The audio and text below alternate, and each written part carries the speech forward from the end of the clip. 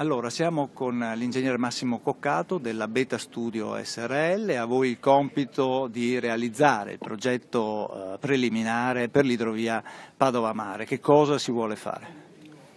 Dunque, abbiamo assolutamente la necessità di realizzare in tempi anche celeri il progetto preliminare dell'opera, un'opera attesa, importante, sulla quale la Regione del Veneto spinge molto, ci crede e quindi tutto sommato ci sono le condizioni per poter arrivare a definire pur in via preliminare ma comunque compiuta un'opera che da troppo tempo stiamo tutti attendendo.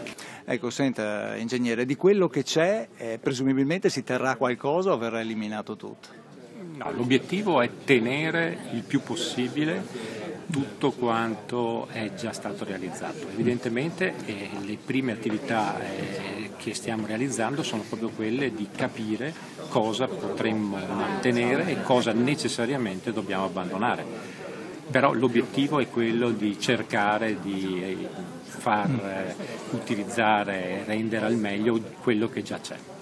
Ecco, senta, in, in, termini di tempi, presumibilmente quando è che si potrà eh, come dire, iniziare l'opera? Eh, l'opera necessita di un iter eh, lungo, complicato, sono opere rilevanti e non facili. Direi che un arco temporale di 5 anni è quello che potrebbe essere necessario sia per completare tutte le fasi della progettazione che per raggiungere eh, il finanziamento della stessa.